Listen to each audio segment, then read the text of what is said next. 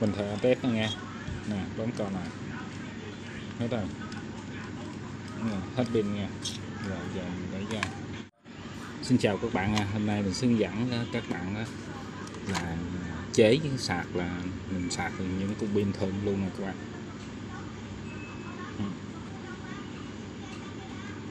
Đó nhưng cục pin này thường thường là mình thấy người ta hay dục bỏ.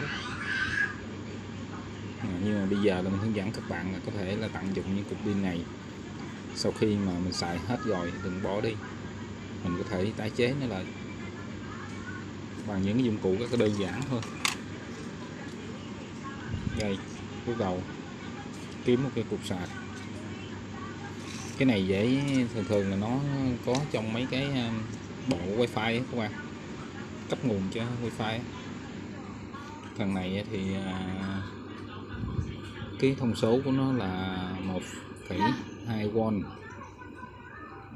là nó tương thích với là cục pin mình nè các bạn ơi.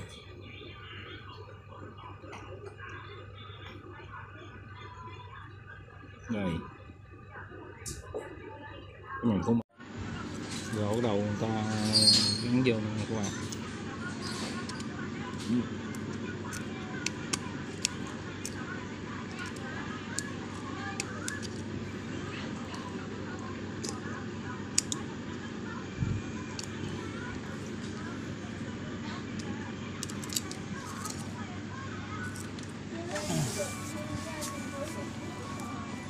Cầu bắt chim sạc nha.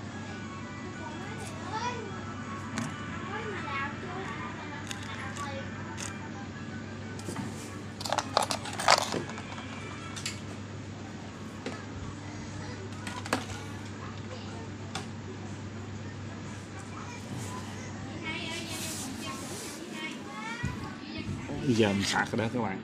Để uh, ờ, cỡ ờ, phút hơi phút à.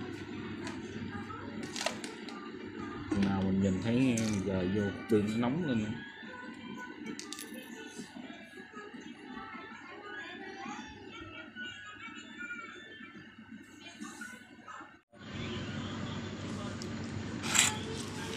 Các bạn sau khi mình à, sạc nãy giờ cũng được à, 5 phút.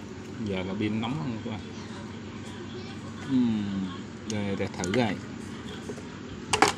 đầu pin? Rồi. Ừ, bỏ vô nè. Này, phỏng tay luôn.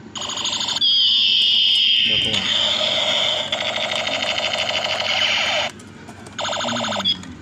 đó thế là mình à, đã sạc đầy đủ pin cho cái súng nha các bạn đỡ tốn tiền mua pin cho mấy đứa con.